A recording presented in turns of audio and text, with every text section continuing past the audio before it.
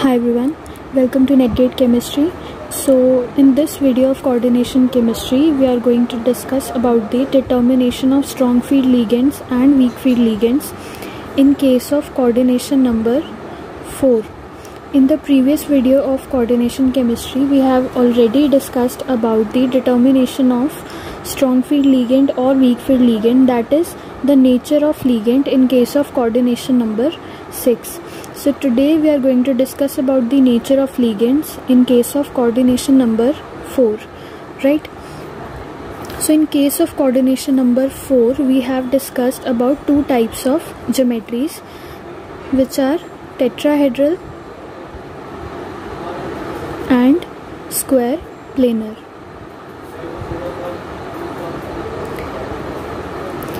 One thing which you have to remember is that in case of tetrahedral complexes the ligands attached are going to be weak field ligands. That is if in a coordination number 4 compound weak field ligands are attached then that compound is going to have tetrahedral geometry. And if the attached ligands are strong field ligands then they are going to occupy the square planar geometry so the main concern here also is that we have to find out whether the ligand is a strong field ligand or a weak field ligand. So we are going to discuss actually uh, major three rules.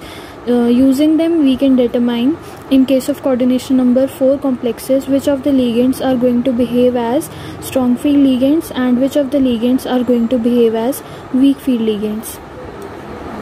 So first if I talk about the coordination number 4 complexes in which the central ion is having plus 2 oxidation state. If it is having plus 2 oxidation state then which of the ligands are going to behave as strong field or weak field ligands? If I roughly write down the spectrochemical series then it is like this. First the halides oxygen donor nitrogen donor.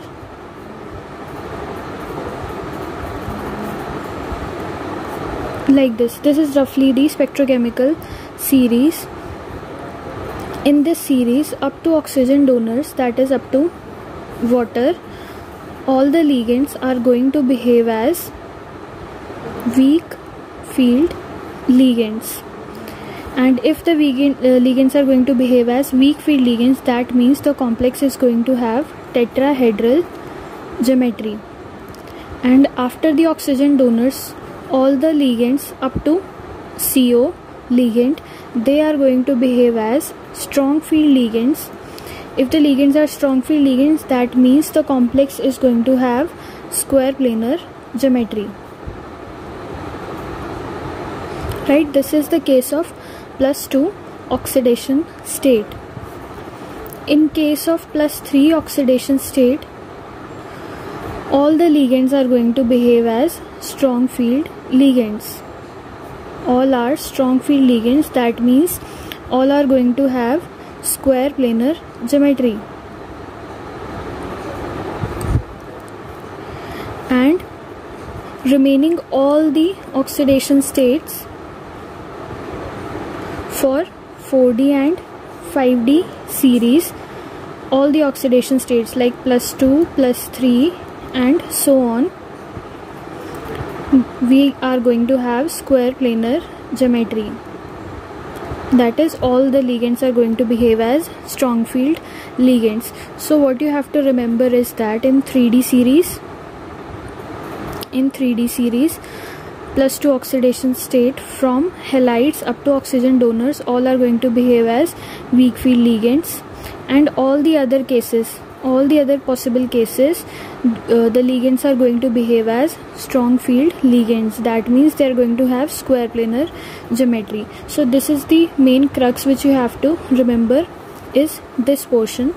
For 3d series plus 2 oxidation state uh, up to oxygen donors all are going to behave as weak field ligands. Remaining all the cases we are going to have square planar complexes that is the ligands are going to behave as strong field ligands. So this is the case of coordination number 4 complexes. So now we'll uh, directly move on to the next topic. So the next topic which we are going to discuss is the splitting of d orbitals in case of cubic complexes.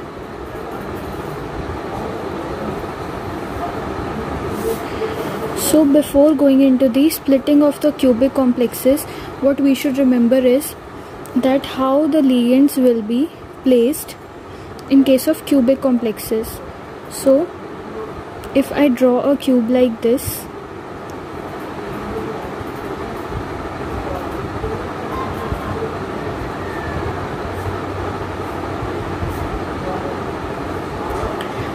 if I draw a cube like this then at the center of at the body center of this cube will be the central ion present.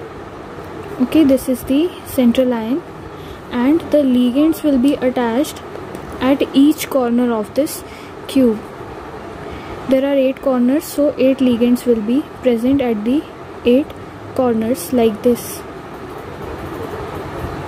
Right? And we have already discussed about the uh, or uh, sorry the d orbitals the orientation of the d orbitals that we know that the d orbitals will be present on the axis and in between the axis. So we already know the orientation of these orbitals. That is on the axis if these are the x y and z axis then these are present in between the axis and the orbitals will also be present on the axis. These are in between. And if I draw the orbitals which are present on the axis then they will be like this. Right? These are the orbitals which are present on the axis and the, these red ones are present in between the axis so now if I talk about the ligands then what happens? First of all all the 5 d orbitals were present here in the ground state. When the ligands approach this central ion what happens? The energy of these 5d orbitals increases right? All these 5d orbitals increases and then what happens? After this the splitting happens. That we have discussed how this happens and why this happens. Now what happens is that two of the orbitals which are present on the axis that is dx square minus y square and dz square they are here and the remaining dxy dyz and dzx their energy is increased. Why? Because the ligands are approaching in between the axes that we have discussed in tetrahedral this is similar to the case of tetrahedral complexes. In case of tetrahedral complexes only four of the alternate ligands were present. And in case of these cubic complexes there are total eight ligands present. But the orientations are similar. Orientations are very similar. So in that case we have discussed very elaborately that how uh, these are approaching at an angle right? In case of tetrahedral complexes so you will be knowing that these ligands are approaching this central ion in between the axis. So what happens? The orbitals which are present in between the axis that is dxy dyz and dzx their energy increase. And the orbitals which are present on the axis their energy decrease. Uh, the orbitals which are present on the axis are dx square minus y square and dz square. So these two orbitals have decreased comparatively decreased energy as compared to the orbitals which are present in uh, between the axes so this is the splitting of d orbitals in case of cubic complexes. Here if this splitting is del c then energy of then the contribution in CFSE of these orbitals of each of these orbitals out of these two will be 3 by 5 del C negative sign because there is release in energy right? There is release in energy in this case and in case of these three orbitals which are present in between the axes it will be plus 2 by 5 del c. Okay? Using barycenter rule we have found that minus 3 by 5 del c will be the contribution of each of these orbitals in case of CFSE and plus 2 by 5 del c will be the contribution in case of these three orbitals. Each of these three orbitals. So this is about the splitting of d orbitals in case of cubic complexes. Now if you want to compare this del c with del o that is uh, CFS in case of splitting energy in case of octahedral complexes then one relation which you are going to find is that del C is equals to 8 by 9 times of del O. This is the relation between del C and del O. Here number of ligands are more right? Here total 8 ligands are there but geometry is uh, given more priority as compared to the number of ligands. So that is the reason why in case of uh, octahedral complexes the splitting is more. But here the splitting uh, of the cubic complexes is more than the tetrahedral complexes. Here what you can see is that uh, the orientations are very similar to the tetrahedral complexes that I have told you. We have discussed how these ligands approach at an angle right?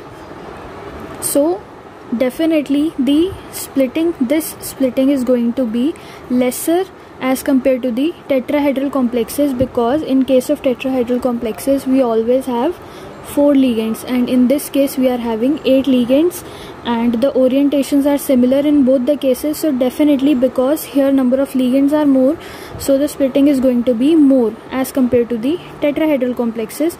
So definitely del c is going to be more as compared to del T but del C is less as compared to del O because because of the geometry.